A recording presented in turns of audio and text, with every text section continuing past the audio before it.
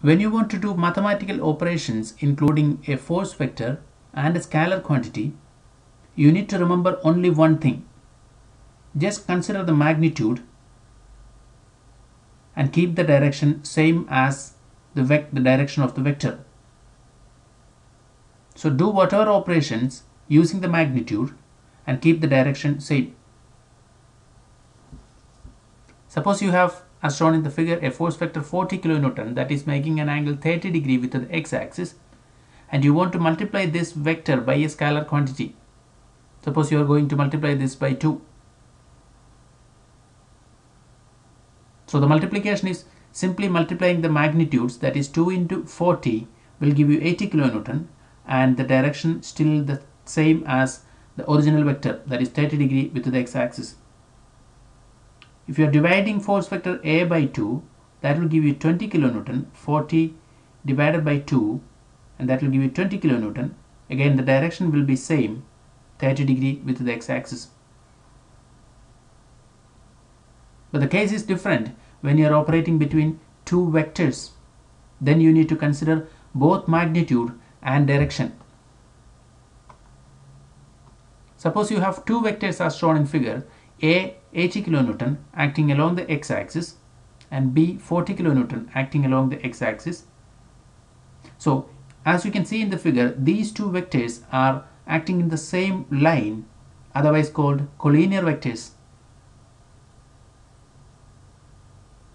So A plus B will, will give you the mathematical sum of the magnitude of these two vectors and the direction will be again the same. So A plus B is 80 plus 40 that is 120 kilonewton and the direction is same as that of A or B. And A minus B will give you again the mathematical difference between the magnitude of these two 80 minus 40 that is 40 kilonewton again the direction will be the direction of the biggest vector from these two and because both of these have the same direction the resultant direction also will be the same but if you have vectors acting in opposite direction but collinear then the resultant vector will have the direction of the biggest vector among these two. Now this is a case of collinear vectors. Suppose you have vectors acting at different angles with the same reference axis. Then you have to consider the magnitude, direction and the axis of these vectors. Suppose you have force vector F1 acting at an angle 30 degree with the x-axis and another force vector F2 acting at an angle minus 20 degree with the x-axis.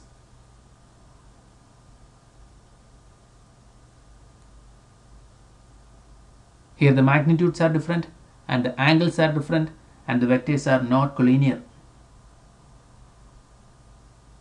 So you are using the parallelogram law to find the resultant of this vector. You can also use the triangular law that, will that we will find later on. But to use the parallelogram law, first you recreate your vector, first vector that is force 1, F1.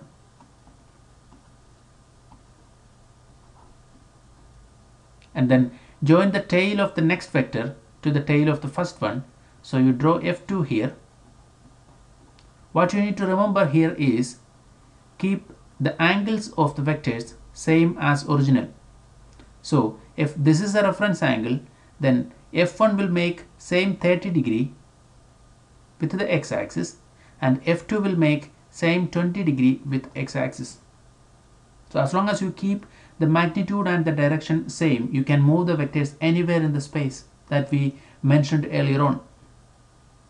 So now that you recreated your first vector f1 and f2, what you need to do is complete the parallelogram by drawing parallel lines to these two vectors.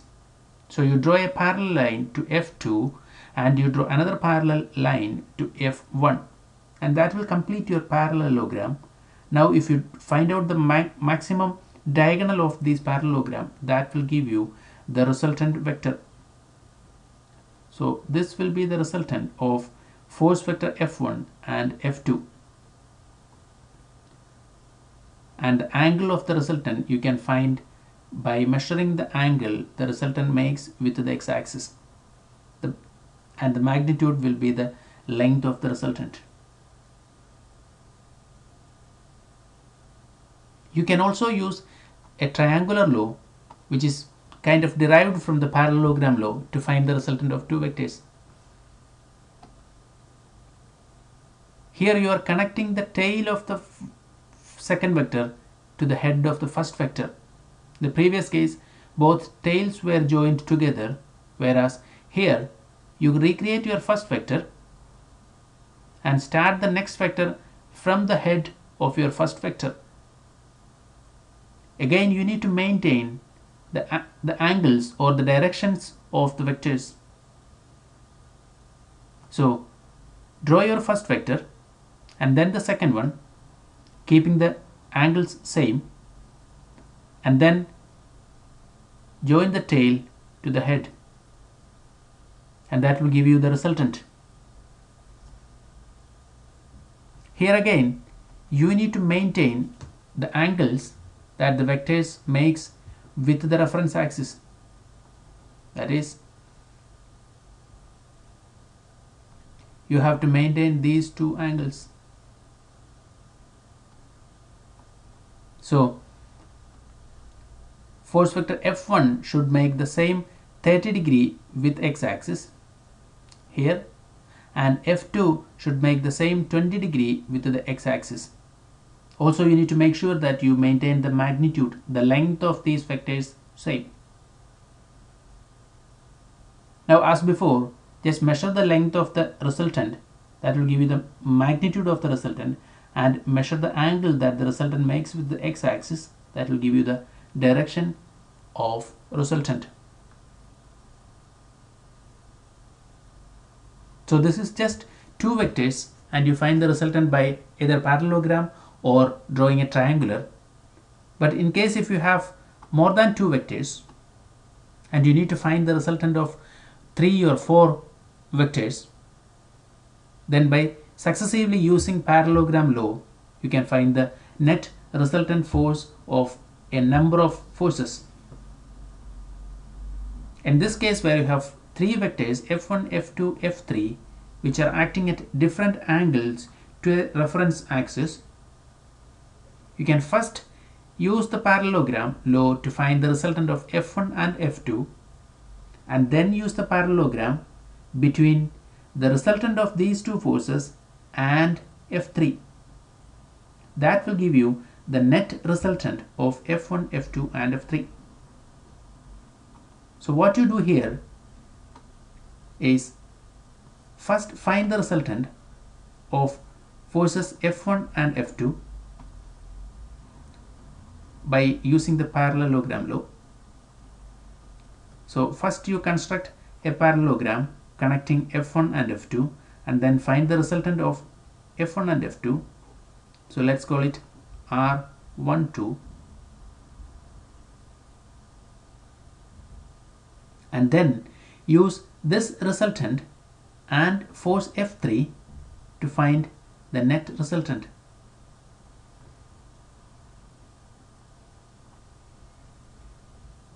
So first you find a resultant of F1 and F2 that is R12 and then you find the resultant of R12 and F3 that will give you the net resultant of R1, 2 and 3. So this is R1, 2, 3 and if you have another force then just use R123 and the fourth force to find the resultant of all these forces together. So by successively using parallelogram law, you can find the resultant of any forces. Always remember, as long as you maintain the magnitude and the direction same, you can move the vectors anywhere in the space. But always make sure that you maintain the angles that the vectors make with the reference axis. So as shown here, you have a force F1 which makes an angle 30 degree with the x-axis. So as long as you maintain that 30 degree with the x-axis, you can move that vector anywhere. And you have another vector F2 which is making an angle 20 degree with the x-axis. Again, as long as you maintain the 20 degree with x-axis, you can move that vector anywhere. Also, you need to make sure that you maintain the magnitude or the length of the vector is same as the original.